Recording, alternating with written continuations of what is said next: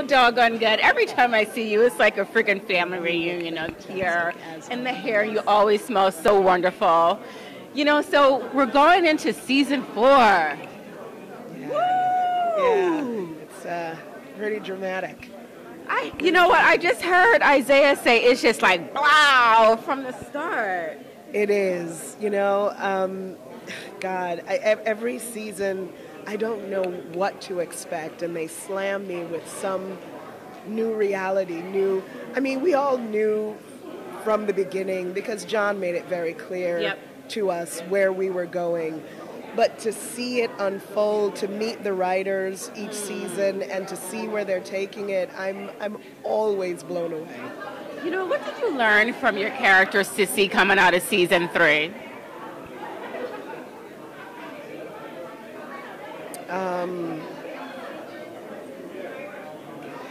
Oh, here she You go. know- Every, those, these big, beautiful brown eyes. You do this to me every carpet, Michael. You do this. It's like you're gonna make me start crying because I know we, we always go so deep. We always go so deep.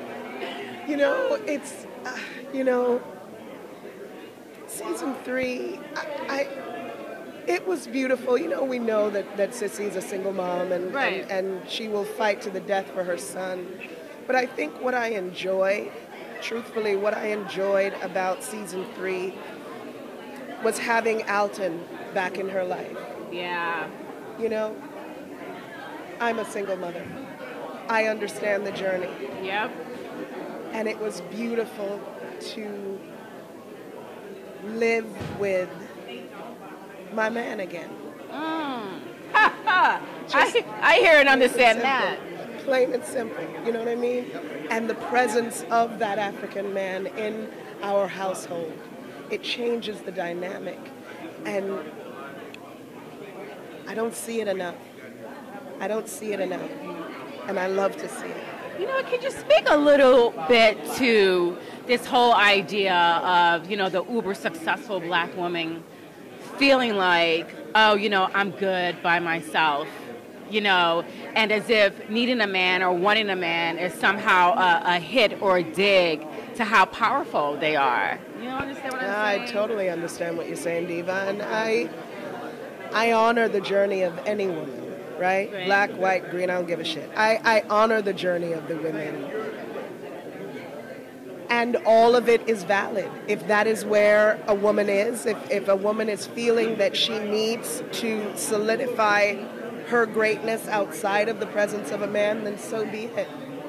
More power to her. Right.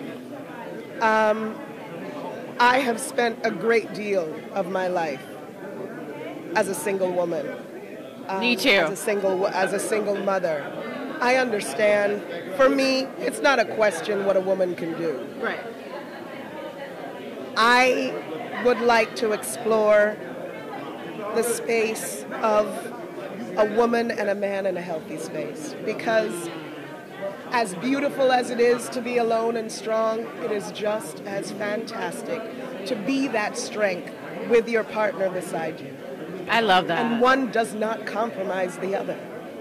I love that. Thank you so much, Cissy. I keep saying, Michael. I don't. I you know when you work in TV, guys, you like cross the names. This is Michael Hyatt. She plays Cissy on the late John Daniel Singleton's Snowfall. Tune into season four. It's going to be amazing. Thank you so much.